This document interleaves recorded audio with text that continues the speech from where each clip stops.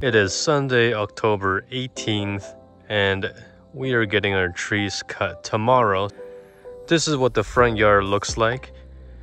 As you can see, there's a good amount of very tall trees in our front yard that were getting cut down.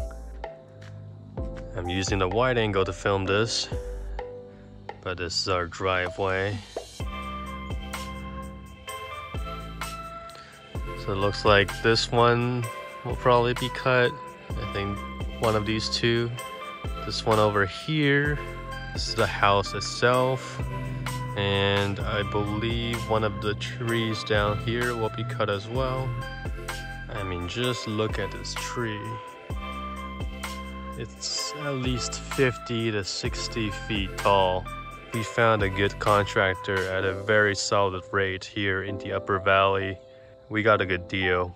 Hopefully he will do a good job. And I'll show you what it looks like after we remove them in a few days. So they're currently cutting down one of the trees.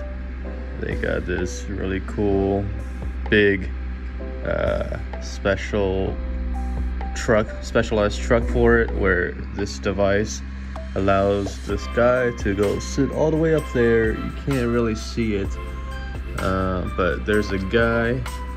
There's a guy up there, and he has a chainsaw that's cutting down all the branches of the tree. So they have to cut down the branches first before they cut down the actual tree. So that's what they're doing. So he's up there cutting down all the trees.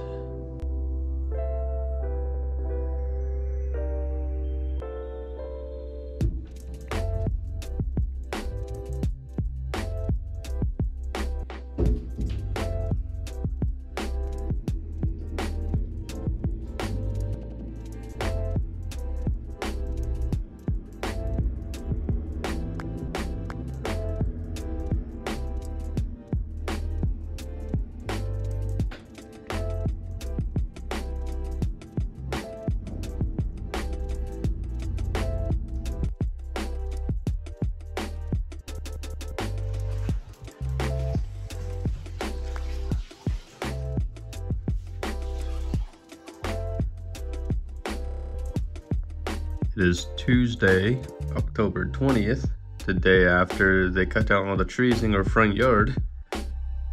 As you can see, the front yard is a lot more open.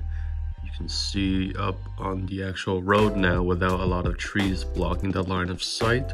So this is looking out from the house and then I'll show you guys what it looks like from on top of the driveway looking down and give you a comparison before and after. So this is what the front yard looks like now. As you can see by all the stumps, they took out a lot of trees. Looks like they took off about 10 trees in the front.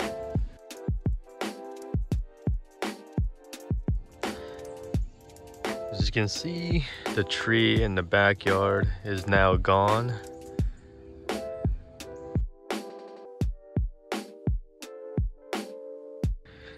So this is what it looks like from the front now that all the trees in the front yard are gone. You see all those stumps. But yeah, it's certainly a lot more clear. You can see the house a lot better. There are no trees in the way.